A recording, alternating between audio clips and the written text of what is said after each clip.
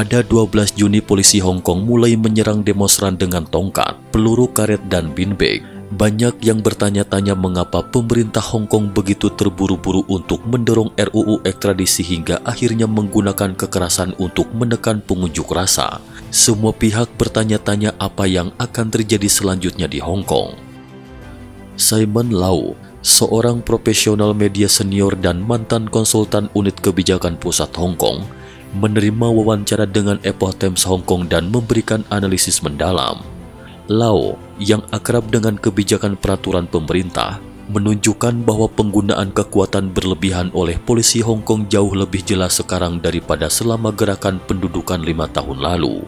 Taktik kekuatan senjata terkait langsung dengan perubahan dalam cara komunis Tiongkok memerintah dan mengendalikan Hong Kong. Hong Kong sekarang langsung di bawah pemerintahan komunis Tiongkok. Menurut Lau, mulai pada masa kolonial Inggris hingga era Tung Jawa, Hong Kong selalu memiliki seperangkat mekanisme penasehat yang efektif dan komprehensif yang disebut sebagai sistem dominan eksekutif. Namun setelah Carrie Lam menjabat sebagai kepala eksekutif Hong Kong, sistem digantikan oleh kepala diktator eksekutif. Misalnya di masa lalu, ketika RUU hukum perlu diamandemen, RUU tersebut melewati beberapa prosedur termasuk tinjauan oleh Komite Hukum Hong Kong, Asosiasi Pengacara Hong Kong, dan Lembaga Hukum Hong Kong sebelum dapat diperkenalkan.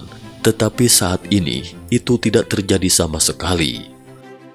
Pemerintah Hong Kong secara langsung mengumumkan RUU kepada publik. Meskipun Hong Kong tidak memiliki demokrasi nyata di masa lalu, ada serangkaian prosedur untuk audit dan konsultasi internal sikap pemerintah Hong Kong saat ini menyampaikan pesan kepada publik bahwa mekanisme sebelumnya telah sepenuhnya berubah. Saat ini publik tidak tahu sama sekali dari mana kebijakan pemerintah berasal. Menurut Lau, diyakini rezim komunis Tiongkok sebenarnya secara langsung memerintah Hong Kong dan Carrie Lam adalah seorang eksekutor yang harus mematuhi setiap kata dari pemerintahan pusat komunis Tiongkok kantor penghubung Beijing di Hong Kong juga mengontrol prosedur parlementer. Perintah untuk menekan para demonstran dengan kekerasan harus berasal dari kantor yang sama. Selain RUU ekstradisi, proyek Metropolis Lantau Timur adalah contoh lain. Kami tidak tahu dari mana asalnya. Setelah pengumuman pemerintah, bahkan Direktur Biro Pengembangan tidak tahu bagaimana menjawab pertanyaan wartawan seperti pengaturan keuangan atau rincian perencanaan kota. Jelas kebijakan tersebut tidak berasal dari Hong Kong berdasarkan kehendak masyarakat setempat, tetapi dipaksakan secara paksa dari pemerintah pusat Beijing, kata Lau. Penyebabnya adalah krisis politik komunis Tiongkok Meskipun Carrie Lam selalu mengklaim bahwa usulan amandemen undang-undang ekstradisi itu diprakarsai oleh warga Hong Kong dan membantah dia mengikuti instruksi dari komunis Tiongkok, Lau mengatakan jelas bahwa Lam mengikuti perintah yang tidak dapat dibantah bahwa berasal dari komunis Tiongkok. Fakta ini juga melibatkan hubungan komunis Tiongkok Taiwan serta hubungan Tiongkok dengan komunitas internasional tanpa otorisasi dari pemerintah pusat komunis Tiongkok, maka sama sekali tidak memiliki wewenang untuk melakukannya. Lau percaya bahwa dorongan komunis Tiongkok untuk RUU ekstradisi berasal dari ketakutannya akan krisis keuangan yang membayanginya. Pasalnya, banyak pejabat yang korup melarikan diri dari Tiongkok dengan sejumlah besar uang. Beijing bertujuan untuk memblokir celah ini dengan undang-undang baru dari perspektif yang lebih besar, komunis Tiongkok ingin mengambil kebebasan Hong Kong untuk memudahkan komunis Tiongkok memulai pertempuran dengan negara-negara demokrasi barat. Selama ini, Hong Kong selalu menikmati hubungan dekat dengan barat, termasuk sistem politik, supremasi hukum, dan posisi Hong Kong sebagai pusat internasional. Tapi itulah yang tidak disukai oleh rezim komunis Tiongkok.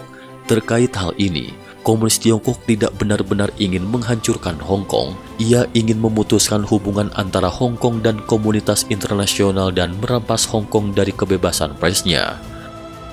Saat ini polisi Hong Kong kemungkinan langsung di bawah komando komunis Tiongkok. Lau mencurigai bahwa pihak berwenang memutuskan sebelum demonstrasi digelar, kekuatan berlebihan akan digunakan untuk menekan para demonstran bila perlu. Dia menunjukkan bahwa polisi mulai memukuli pemrotes dengan pentungan pada malam hari tanggal 9 Juni ketika lebih dari satu juta orang menggelar pawai di jalan untuk memprotes RUU ekstradisi. Menurut SOP polisi di Hong Kong, mereka harus menggunakan semprotan merica dan gas air mata sebelum mereka dapat menyerang demonstran dengan tongkat. Meskipun kepala polisi Stephen Law mengklaim bahwa polisi melemparkan galah ke kerumunan masa pertama, tidak ada yang melihat ini saat video yang diambil selama pawai digelar.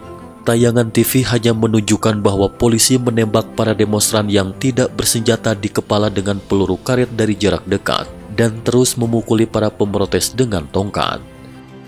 Seringkali sekitar 10 polisi memukuli seorang pemrotes tidak bersenjata yang sudah mundur. Polisi mengambil tindakan paling kejam dalam waktu sesingkat itu, Itulah mengapa diyakini bahwa komunis Tiongkok telah memberikan perintah yang tidak dapat disangkal bahwa demonstrasi harus dihentikan sejak awal. Artinya, polisi harus menggunakan kekerasan terburuk yang mungkin terjadi untuk mencegah gerakan lainnya. Lau menambahkan bahwa banyak kediktatoran secara rutin menggunakan metode ini, kekerasan hebat selama penindasan dalam jangka waktu yang sangat singkat dan kemudian menuduh demonstrasi sebagai dalang kerusuhan, ini kemudian memungkinkan polisi untuk menggunakan kekerasan untuk membubarkan para demonstran. Banyak demonstran dan saksi mata curiga bahwa polisi bersenjata Tiongkok atau tentara dikerahkan ke Hong Kong untuk menekan para demonstran karena polisi Hong Kong jarang bertindak dengan kejam. Oleh karena itu, komandan polisi saat ini bukanlah seorang perwira polisi Hong Kong, Lau menilai ini dikarenakan kepolisian di Hong Kong sangat berpengalaman dalam menangani gerakan massa. Mustahil seorang petugas kepolisian Hong Kong melanggar pedoman internal atau bahkan konvensi internasional dan menembak para demonstran di kepala. Bahkan jika menggunakan peluru karet, menembak kepala dapat menyebabkan kematian. Kalangan pebisnis Hong Kong diserukan menggunakan suara mereka untuk menentang undang-undang ekstradisi itu. Kini kaum muda Hong Kong mempertaruhkan hidup mereka untuk menolak RUU ini. Saat ini, masalah terakhir adalah menggunakan suara pebisnis dengan bulat untuk menyelesaikan konflik ini dan memveto RUU baru ini. Kalau tidak, di masa depan untuk setiap konflik politik, rakyat Hong Kong harus menghadapi situasi yang sama dengan sesama orang Tionghoa di daratan yakni penangkapan, lebih banyak darah, dan bahkan kematian karena pemerintah komunis Tiongkok akan selalu menggunakan mesin negara untuk menekan suara yang berbeda.